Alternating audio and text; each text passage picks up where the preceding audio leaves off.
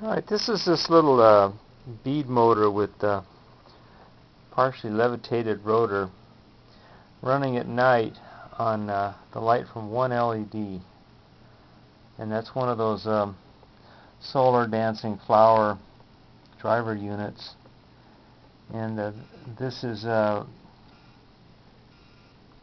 partially levitated. It's got a point contact down there at the mirror and then it's levitated with these uh, magnets. And uh, this is running like I say on the light from one LED let me turn the light off. I'll show you how dark it is in here.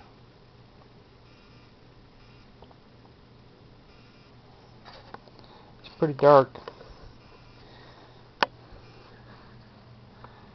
It's night